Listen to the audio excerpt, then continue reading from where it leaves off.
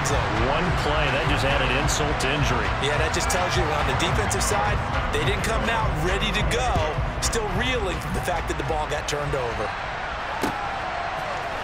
And this is going to be returned from the middle of the end zone. Oh, a good return up past the 30. Past midfield. He's at the 30. Tim, And he will score.